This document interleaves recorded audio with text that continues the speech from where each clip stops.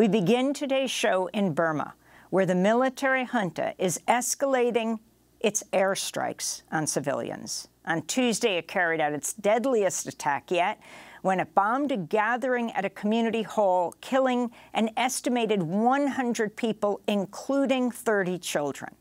Graphic images posted online and verified by Al Jazeera and other media show burning limbs at the scene. This is how the BBC's Jonathan Head described the attack tweeting, quote, horrific airstrike by military jets and helicopters this morning. Video posted by locals, too awful to upload here, but they say at least 53 dead, including women and children. He continued, quote, I cannot begin to describe how terrible the scenes are at Pazigyi. So many bodies, so horribly mangled. Members of Burma's government in exile condemned the attack as a heinous act that constitutes a war crime. The BBC and others have reported the military junta has increasingly used airstrikes to crush the resistance since it seized power in a 2021 coup, often targeting schools and clinics run by the opposition. This comes as the United Nations has warned of worsening humanitarian and human rights crises in Burma with mass arrests, torture of prisoners, the killing of civilians, and media repression.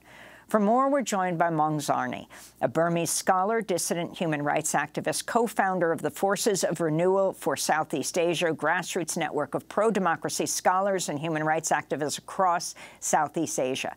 His recent piece titled Myanmar Military's Acts of Terrorism from the Sky and Savage Beheadings on the Ground. Zarni, welcome back to Democracy Now! Can you explain what's happened in Burma, this latest attack, as you understand it?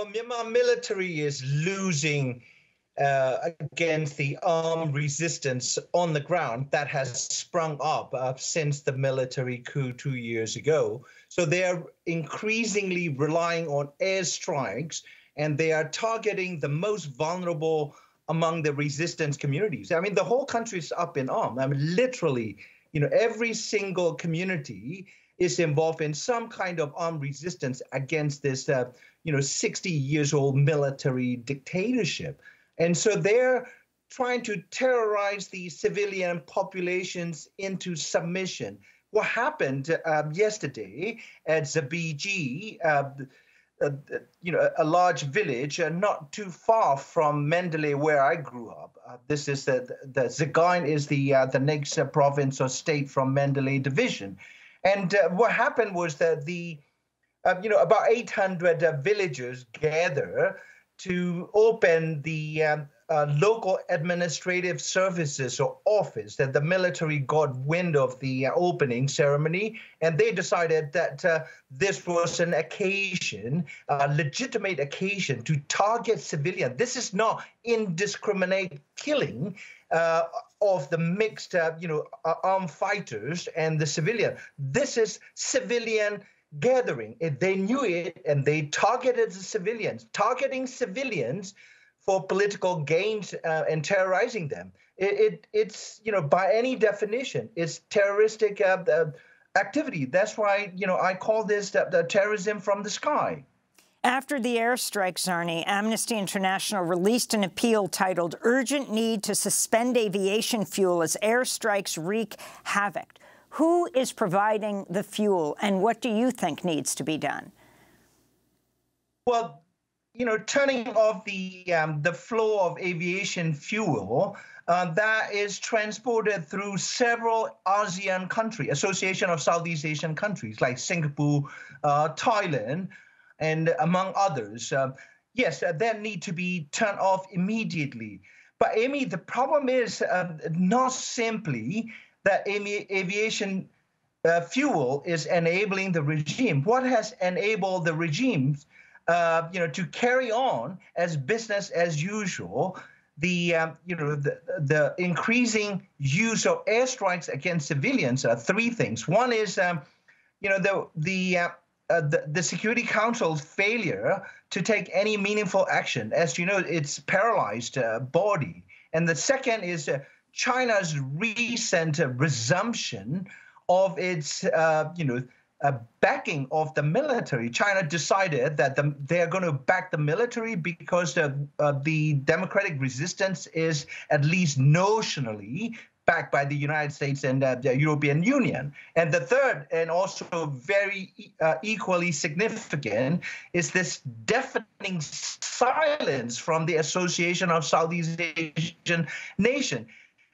ASEAN has been a complete failure uh, you know, in, in the case of uh, Cambodian genocide, uh, Rohingya genocide 40 years later, and it is failing when its member state is using air force to terrorize the civilian population, committing all kinds of like uh, atrocious uh, um, cracking of the military, that uses uh, Russia's uh, gunship helicopters, uh, the Western democracy's failure to really back the uh, democratic resistance as it is doing in Ukraine. And thirdly, the ASEAN um, uh, regional bloc's complete and utter failure to lift a finger to stop the killings. Who else is working with the Burmese military? And by the way, just for people to understand the term Burma and Myanmar, the military junta renaming Burma Myanmar, um, we refer to it as Burma, Zarni. Well, who else? I mean, like, you know, a lot of um, yeah, of course. Like uh, we could, uh, you know, point fingers at um, you know the, uh, Burma's immediate neighbors like Thailand or India or China that are involved in, um, you know, uh, various uh, strategic uh, rivalries or economic contests.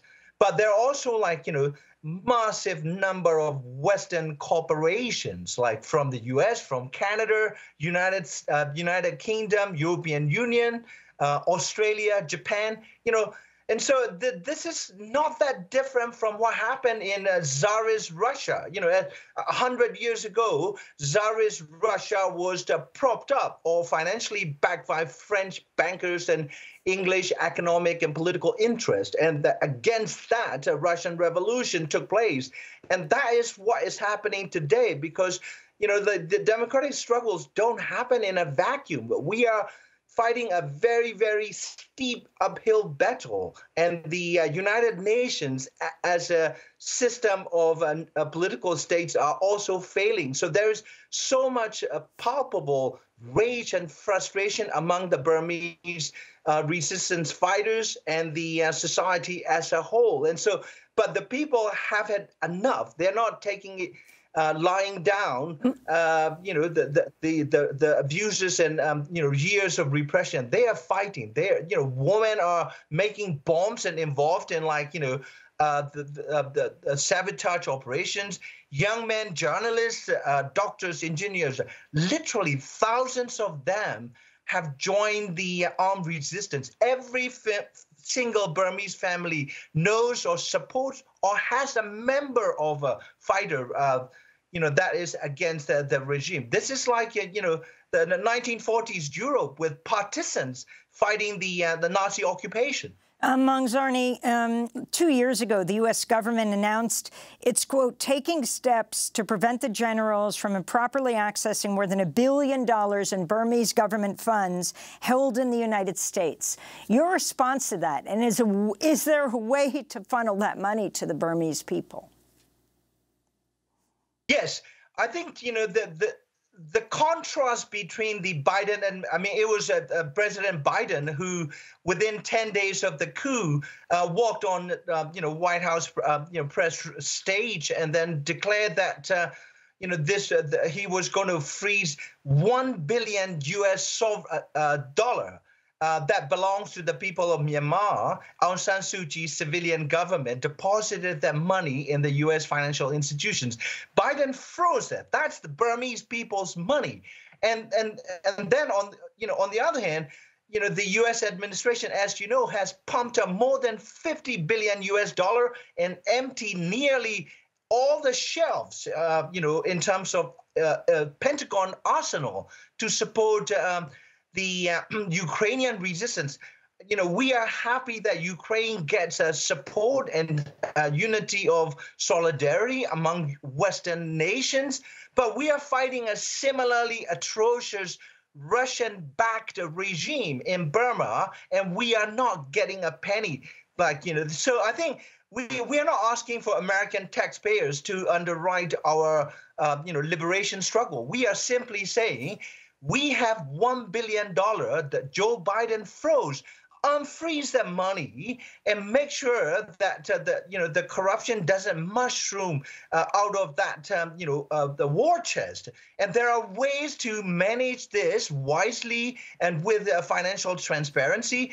We cannot fight and win a liberation struggle on empty stomachs and homemade Molotov uh, cocktails when uh, the, you know the repressive Myanmar military is well armed with Russian-made helicopters and you know MiG-29 jets, and you know China's backing China's arm we need to have a level playing field. We are fighting a, a, a you know atrocious 60-year-old military dictatorship that has perpetrated genocide and that is perpetrating a long series of war crimes, crimes against humanity, and every grave crimes ever written in international law.